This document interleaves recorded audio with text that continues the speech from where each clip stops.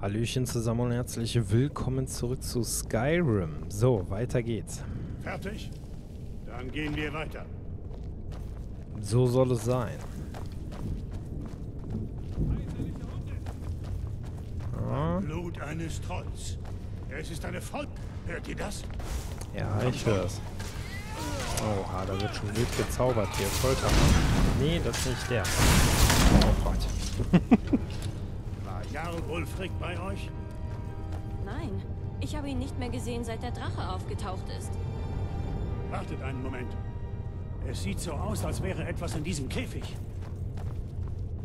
Es ist abgeschlossen. Seht zu, ob ihr das knacken könnt.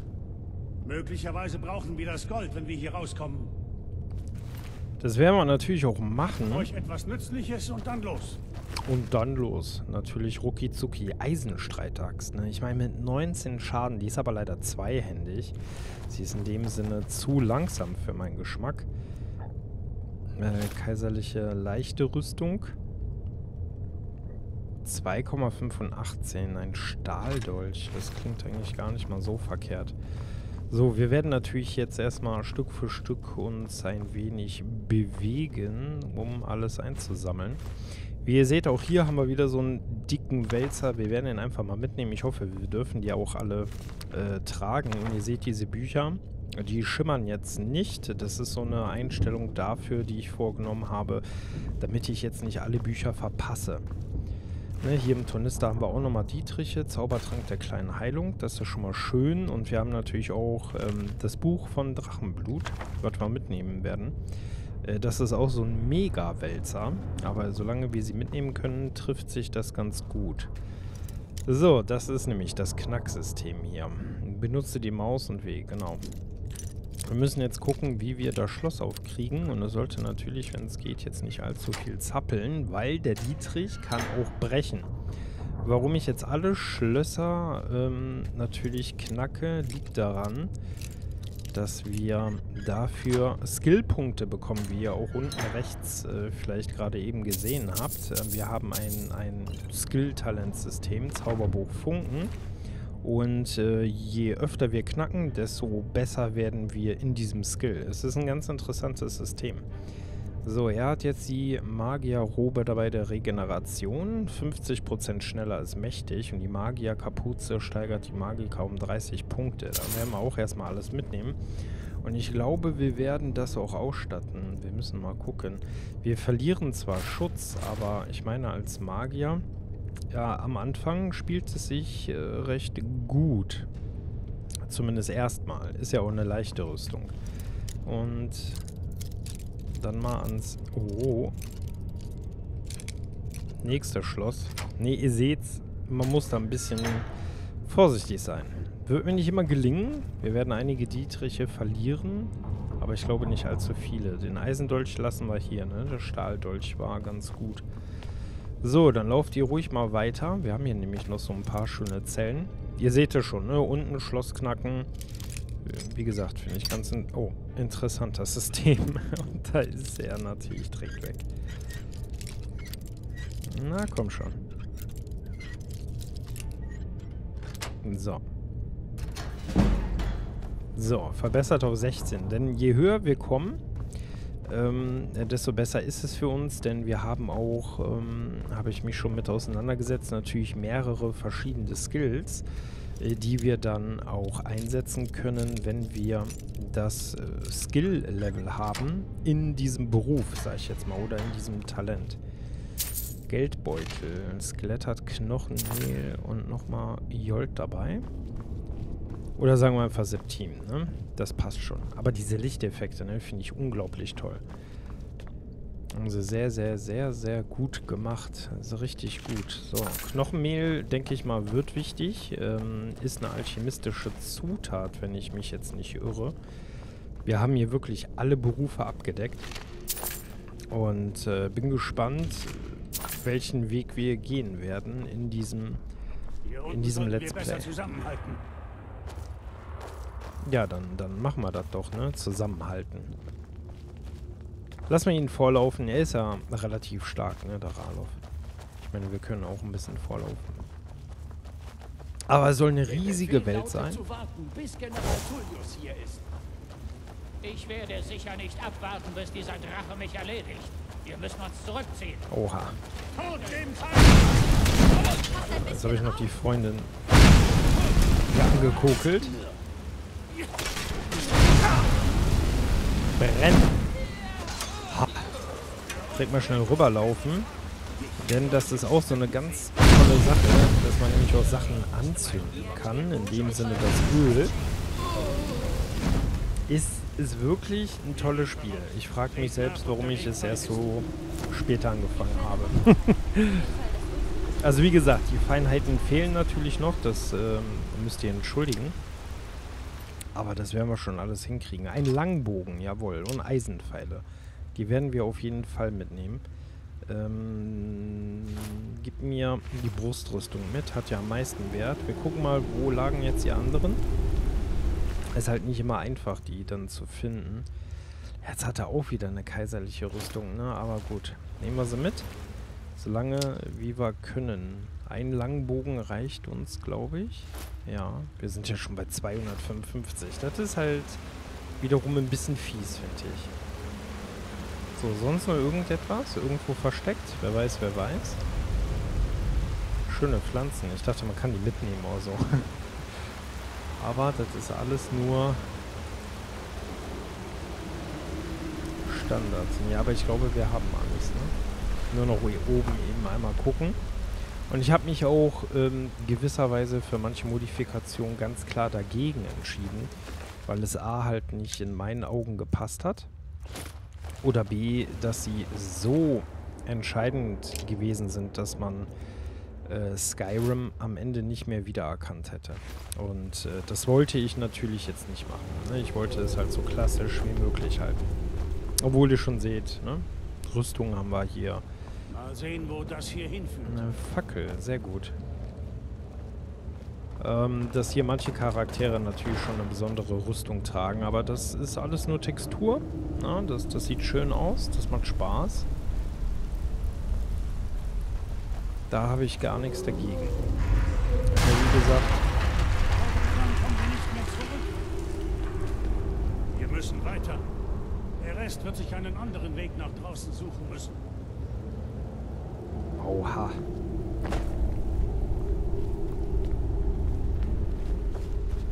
Ach, sieh mal einer an. Da haben wir ja auch noch was. Ein bisschen Geld. Jawohl, gibt das alles her. Skelett hat auch noch ein bisschen Geld dabei. Sehr gut, sehr gut. Zum Glück kommen wir nochmal raus. Ja, und ich bin gespannt, was die, was die Story dann sozusagen ist Also was sie so mit sich bringt, versteht sich. Ne? Also das, das ist halt so die Sache, wo ich mir am meisten Gedanken darüber gemacht habe jetzt in der letzten Zeit. Dieser Weg führt nirgendwo hin. Nee, da kommen wir nicht Wir durch. sollten Ne? es wohl besser hier entlang versuchen. Okay. Und natürlich für die Leute, die es nicht kennen, wovon ich jetzt nicht ausgehe, ich werde der Einzige sein, der es nicht kennt. äh, Wir haben natürlich einmal die First- und Third-Person-Ansicht. Ist beides sehr, sehr cool. Ich weiß noch nicht, wie wir spielen. Und da haben wir euch ja die ersten Frostbiss. Oh, Entschuldigung. Brutzel, Brutzel. Ich hasse diese verdammten Biester. Die haben viel zu viele Augen. Oh ja, das haben sie. Guckt sie euch mal an. Also das ist halt schon... Boah. Kriege ich auch ein bisschen Gänsehaut, obwohl ich so ein Spinnenfreund bin. Achso, nee, du warst leer. Da ist aber noch eine. Wir bekommen von denen Frostbissgift. Ähm, das können wir, glaube ich, irgendwie äh, verzaubern auf die Waffe oder nutzen. Ich habe es noch nicht gemacht. Ähm, damit vergiften wir selbstverständlich dann den Feind. So, jetzt müssen wir nur mal gucken, ob wir... Ne, da war ja nix, ne? Achso, genau, weil ich mal testen wollte. Okay, es hätte ja sein können, weil ich glaube, das sind ja die Eier. Und ich dachte, die Eier platzen irgendwie, dass man die halt vernichten kann. Aber man darf sie durchsuchen. Wir kriegen ein Spinnenei. Und natürlich haben wir hier auch die ein oder andere mm, mumifizierte Leiche, ne? Ist ja ein richtiges Spinnennest hier gewesen. Ist ja mal richtig eklig. Da möchte man nicht enden wie Frodo. Ja, lecker, lecker. Also da oben haben wir, glaube ich, auch noch was. Gehen wir auch eben kurz hin. Ja, ich komme ja jetzt gleich. Hab Geduld. Eisenstreitkolben, nee. Ich bin so und so mal gespannt anhand der Waffengattungen, wie das dann eigentlich ist. Ob Skyrim sich... Äh, ich meine, ich könnte es ja nachlesen oder ihr schreibt es mir in die Kommentare. Ähm, ob wir ob das halt so ist, dass äh, zum Beispiel jetzt äh, die eine Waffe eine Hiebwaffe ist oder das Schwert äh, eine Hiebstichwaffe. Da liegt auch noch was. Ein Eisendolch. Ja, dann lieber den Zaubertrank. Und das ist äh, ganz interessant. Halt! Direkt vor uns ist eine Bärin. Seht ihr sie? Ja, Mit der möchte ich mich jetzt lieber nicht anlegen. Lasst uns versuchen, an ihr vorbeizuschleichen. Immer schön langsam. Und passt auf, wo ihr hintretet. Oder wenn ihr meint, heute sei euer Glückstag, dann könnt ihr diesen Bogen nehmen. Vielleicht überrumpelt ihr sie. Geht voraus. Ich folge und gebe euch Deckung. Ja, ein dicker, großer Bär, ne? Werden wir uns gleich drum kümmern. Also es gibt wirklich beide Varianten.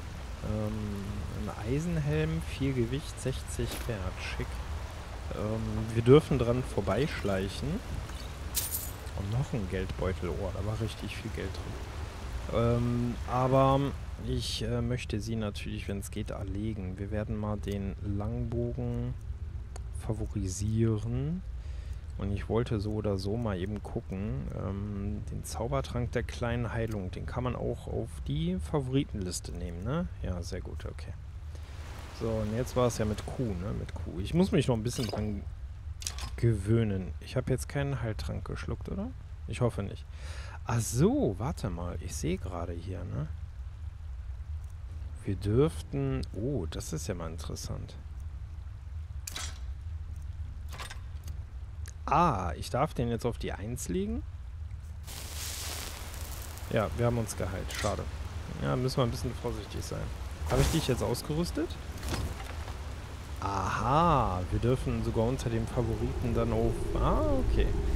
Das wusste ich nämlich äh, noch nicht. Schleichen ist überbewertet, wie? Also so sieht's aus.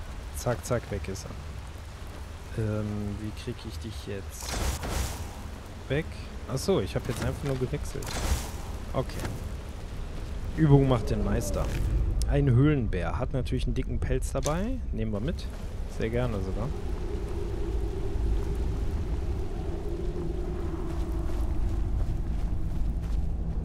Eieieiei. Das sieht schon recht fies aus, ne?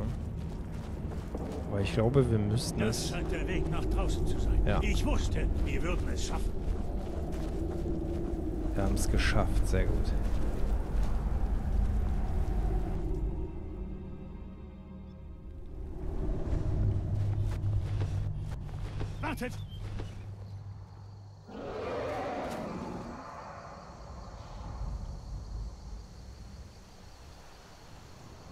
Schon ist er wieder weg.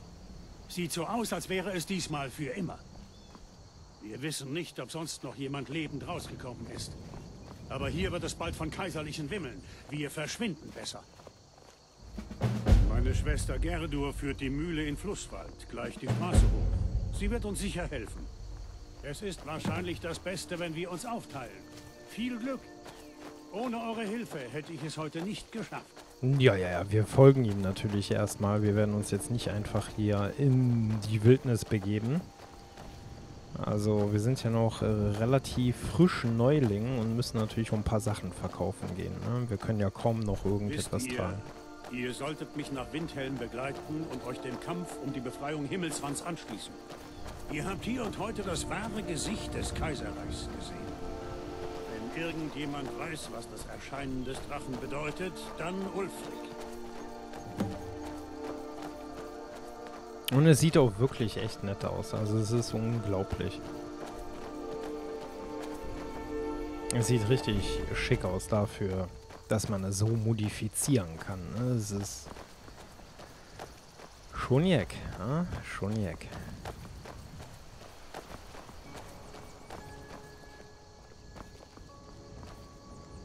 Seht ihr die Ruine da oben? Das ist das Ödsturz-Hügelgrab. Ich habe nie verstanden, wie meine Schwester es aushalten kann, im Schatten dieses Ortes zu leben. Man gewöhnt sich wohl daran.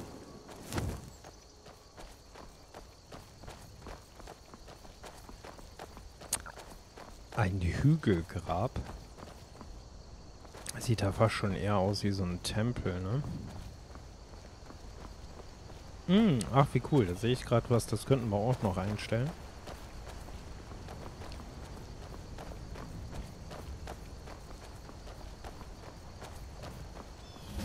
Dies sind die Wächtersteine. Drei der 13 uralten Findlinge, die überall in Himmelsrand zu finden sind. Na los, seht selbst. Ja, wir haben besondere Steine hier, ne? Den Diebesstein, den Magierstein, den Kriegerstein, der uns erlaubt, dass wir wohl schneller äh, leveln können. Ne? Ich weiß nicht, aktivieren unter dem Zeichen des Diebes äh, lernt ihr alle Heimlichkeitsfähigkeiten 20% schneller. Was jetzt alles darunter fällt, das weiß ich jetzt noch nicht. Ähm, das habe ich noch nicht rausgefunden, aber ich gehe mal davon aus, dass es äh, sowas ist wie Schleichangriffe oder vielleicht Dolche, all solche Sachen halt, die so mit Dieben zu tun haben. Ne? Das, das, das normale Klauen, vielleicht können wir ja klauen und skillen damit irgendetwas. Und ich glaube, mh, das mit dem Dieb werden wir auch als erstes nehmen. Ein Dieb, hä? Es ist niemals zu spät, sein Schicksal zu verändern, wisst ihr? da sagst du was. So, kommen wir eben zu dem Ding. Ihr seht da hinten die Linie. Ja, das ist etwas, das ist von Skyrim mitgegeben worden. Ähm, ich habe schon viele Sachen versucht, äh, das zu ändern. Ja, mit dieser wunderschönen Linie da drüben. Äh, das hat ja etwas mit der Wassermod zu tun, aber das ist, ne, ist, ist sehr kompliziert. Werden wir aber bestimmt noch hinkriegen. Hat etwas mit der Sichtweite zu tun, wie weit wir gucken können, wie weit der Rechner in Belastung gerät, damit wir noch weiter schauen können ne? und so weiter und so fort. Müssen wir mal gucken. Ich meine, man kann noch einiges machen an dem Spiel. Man kann aber auch einige, ich sag mal, weniger machen. Das hier ist kein Sturmmantelgebiet. Wenn wir vor den Neuigkeiten aus Helgen eingetroffen sind, sollten wir keine Probleme bekommen, solange wir keine Dummheiten machen. Okay. Falls wir auf kaiserliche Truppen stoßen, überlasst du das Reden mir. Verstanden? Ja, alles klar. Du läufst vor. Und deswegen, äh, wir müssen mal schauen mit den Mods. Vielleicht packen wir noch ein paar drauf. Für, für Vorschläge bin ich immer offen. Vielleicht nehmen wir auch ein paar weniger mit. Das ist ja nicht das große Problem. Solange alles miteinander harmoniert. Ist aber schnell.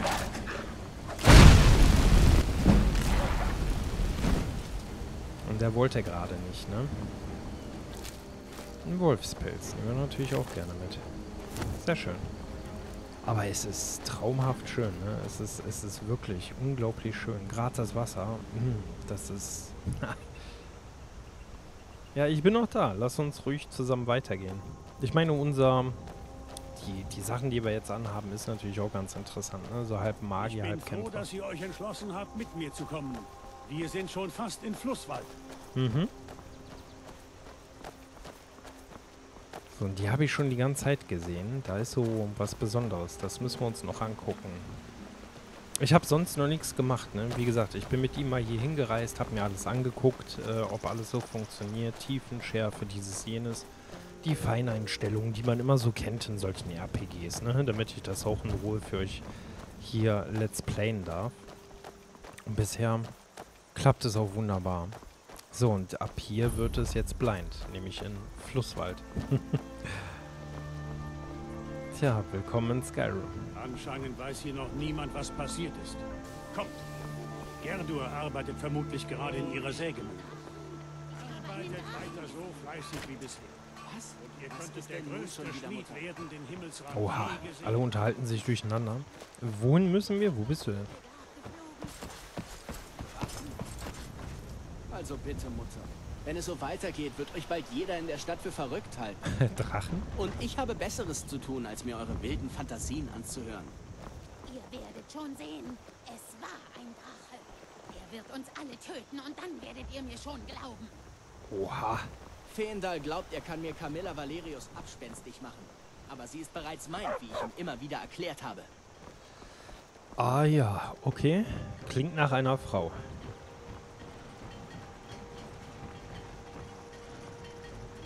Aber wie schön das hier ist. Bruder, bei Maras Gnade.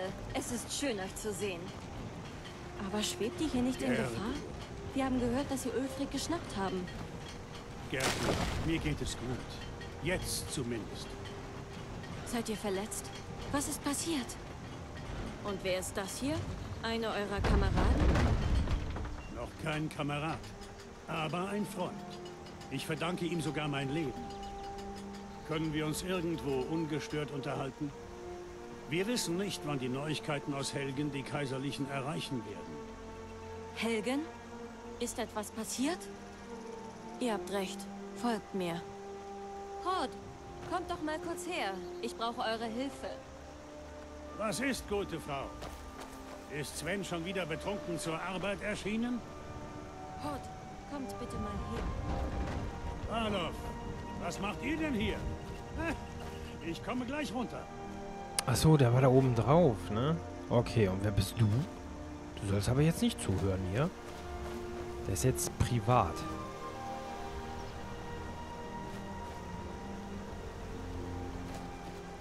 Oha, sogar Kids. Onkel Ralof, zeigt ihr mir eure Axt? Wie viele Kaiserliche habt ihr getötet? Kennt ihr wirklich Ulfric Sturmmantel? Seid still, Frodner. Das ist jetzt nicht der richtige Zeitpunkt für eure Spielchen.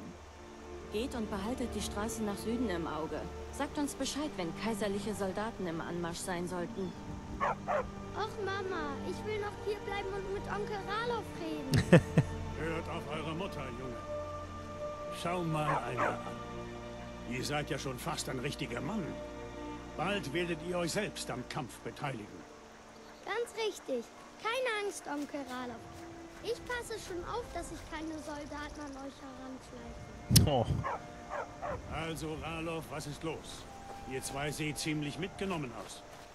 Ich kann mich nicht daran erinnern, wann ich zuletzt geschlafen habe. Wo soll ich anfangen? Nun, es stimmt, was man euch über Ulfric berichtet hat. Die Kaiserlichen haben uns außerhalb von Dunkelwasserkreuzung in einen Hinterhalt gelockt. Als hätten sie genau gewusst, wo wir sein würden. Das ist jetzt äh, zwei Tage her.